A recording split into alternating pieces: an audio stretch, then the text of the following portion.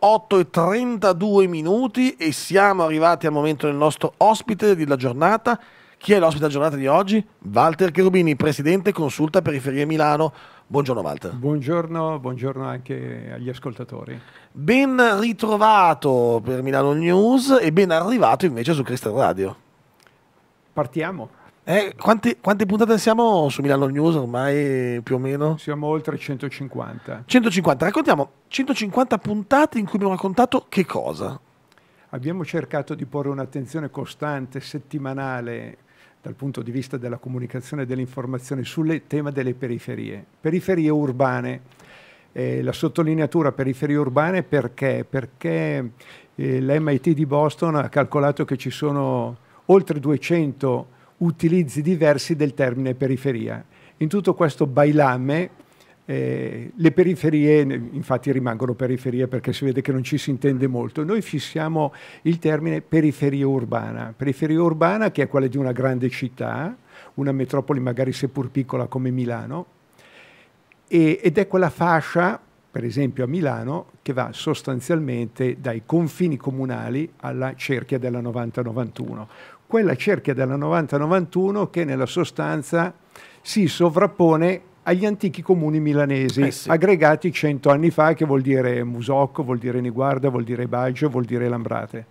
Vuol dire Vigentino, vuol dire, vuol dire, undi, vuol dire 11 comuni, 11, vuol dire Greco, greco no, eh, vuol dire Gorla. Trenno, vuol dire Gorla Precotto. Insomma, 11. E anche, ricordiamoci anche Turro, ah. che è stato comune autonomo fino al 1918. Ce lo perdiamo sempre, lo ricordo una fermata della metropolitana. È vero, è vero. Ecco, è vero, in questo scenario noi abbiamo cercato di porre l'attenzione non facendo una, diciamo così, narrazione delle periferie, ma ospitando una serie di persone, eh, di associazioni che agiscono sul territorio e quindi è un'occasione per loro per raccontare alla città quello che fanno, perché uno dei problemi fondamentali di Milano è che Milano non conosce Milano.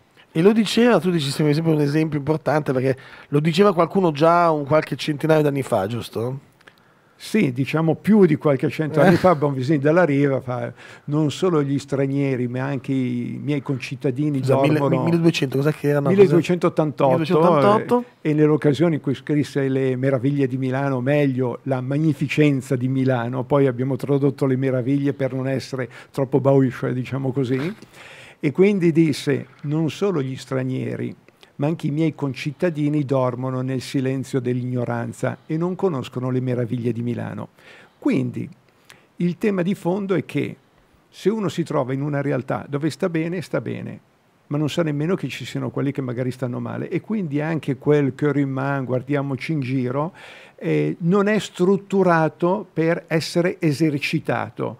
Non vorrei dire una, una, cosa difficile, ma se io non so che uno sta male, come faccio? Ma se non so nemmeno che esiste, per quello che legandomi un attimino anche al discorso del centenario, il centenario degli antichi comuni milanesi, eh, 14 dicembre 1923, data sconosciuta a tutti. Uh-huh. Per Milano è una data fondamentale perché passa da 76 km quadrati a 181 km quadrati, più che raddoppia. Potremmo dire quasi che è il compleanno della nuova Milano quel giorno lì, no? perché proprio nasce la Milano che conosciamo noi adesso. Quella che fu ipotizzata come la grande Milano ai tempi, nel 1923. E però c'è un passaggio di 50 anni, dal 1873 al 1923. 1873 che cosa avvenne? Che l'allora comune di Milano, sì.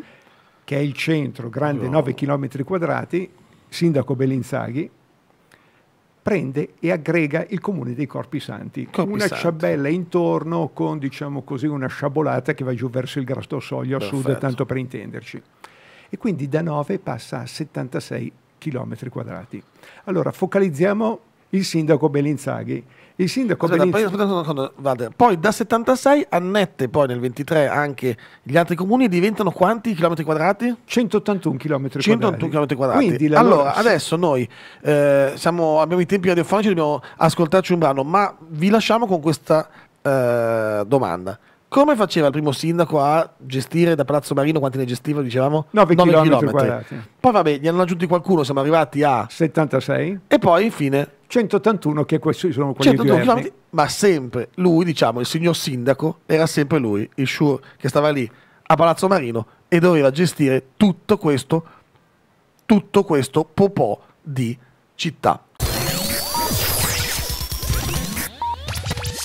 Torniamo invece alla nostra città, alla nostra Milano, insieme a Walter Cherubini, presidente della consulta Periferia Milano. Ci eravamo lasciati appunto che il sindaco nel 1800, dicevamo... 73. 73 si vede moltiplicare quasi la, la, la sua città, così pum, del doppio, e poi nel 23 diventare quasi una metropoli, cioè una megalopoli, anzi nel 1923. Ma diciamo nemmeno grossissima, no. perché Milano non è mai stata in questa anche logica eh, circolare, circolare in questa maniera. E allora eh, il sindaco Mangiagalli, senatore della Repubblica, ma come anche eh, il precedente sindaco del 1873 Bellinzaghi, eh, si trova ad affrontare una condizione gestionale che va da 76 a 181 km quadrati. Allora, quali sono le modalità gestionali anche? Ecco, il problema è proprio di questa natura. Con il mille, eh, 1923, 14 dicembre, una data sconosciuta, quindi esiste un problema didattico, cioè non è insegnato, c'è un periodo di storia.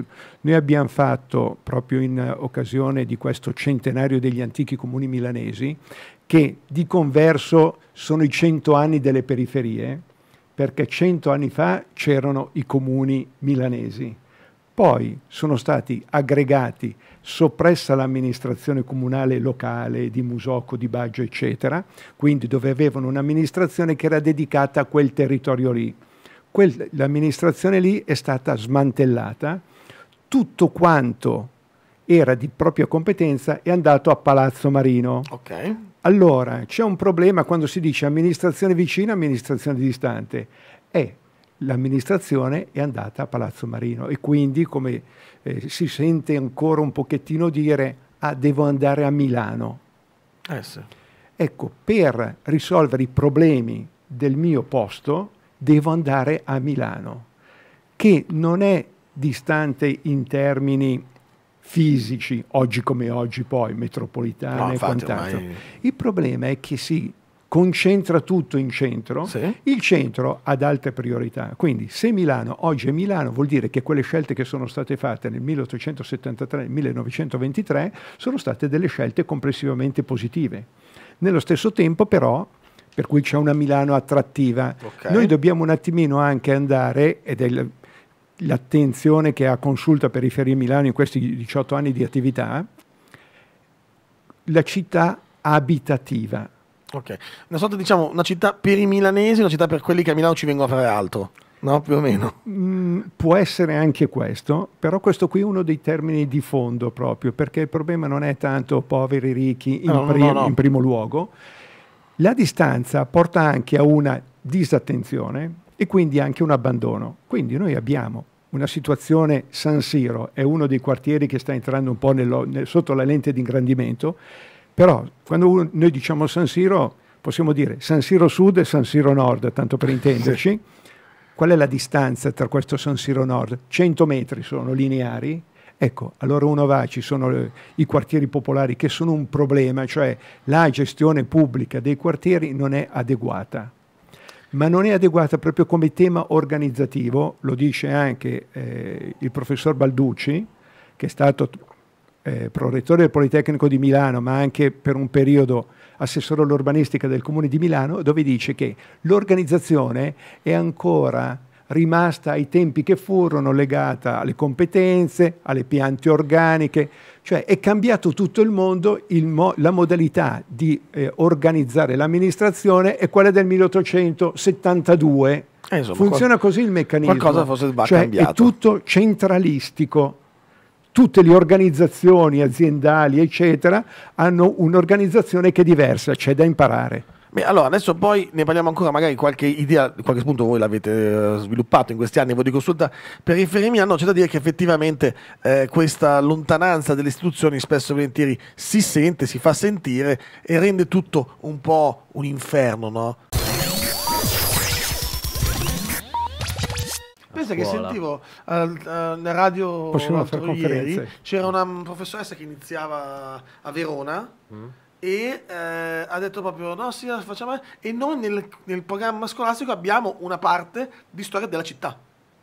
Infatti arriviamo fino alla Verona romana. Cioè spiegano man mano, ma, ma collegandosi alla, parliamo dei romani. A, a, Roma, a Milano ci sono stati i romani parliamo anche della Milano romana cioè fanno allora, così. allora il tema è di questa natura dove didatticamente parlando eh, diciamo che la scuola deve dare attenzione al territorio. Il problema è che se uno sta a Lambrate dà attenzione a Lambrate e non si conoscono, cioè sono città che sono, non sono permeabili, sì. ognuno rimane nel proprio angolo, invece ci vuole una permeabilità.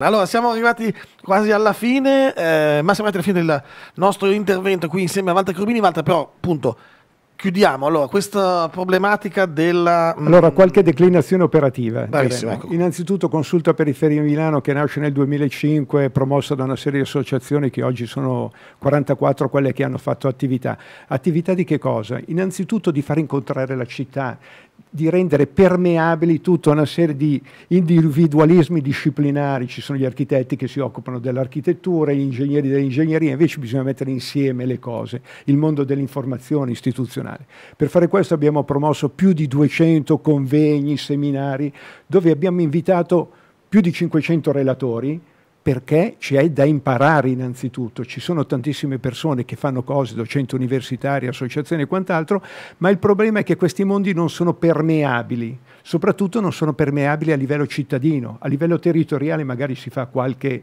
eh, diciamo così, rete, ma non è adeguata ad affrontare il tema della città. In secondo luogo, oltre agli incontri, anche delle attività diciamo così, di animazione e valorizzazione. Abbiamo promosso più di 800 concerti ad ingresso gratuito. Oggi come oggi andiamo avanti con le rassegne Cori Milano, abbiamo un gruppo di 40 cori amatoriali, mille persone che si sono resi disponibili a cantare. Informazioni di varie cose ne avete sul sito periferiemilano.com, che è soprattutto per eh, un sito di documentazione per vedere quanti teatri ci sono nella periferia di Milano, Fuori dal centro ce ne sono 109 tra amatoriali e professionali. Si dice bisogna portare la cultura in periferia. No, il problema è che noi abbiamo un paradigma dove il bilancio della Scala fa 130 milioni di euro, quello del Comune di Milano 90 milioni di euro, gli otto municipi periferici hanno mezzo milione di euro. Questo è il tema. Seconda questione didattica. Didattica, stiamo facendo tutta una serie di conferenze, abbiamo incontrato più di 4.000 persone nelle biblioteche, nelle associazioni, in vari posti. Ecco, chi vuole ospitare eh, delle brevi conferenze di un 40 minuti proprio per imparare questo aspetto geografico-amministrativo che è sconosciuto. Eh, due cose fondamentali.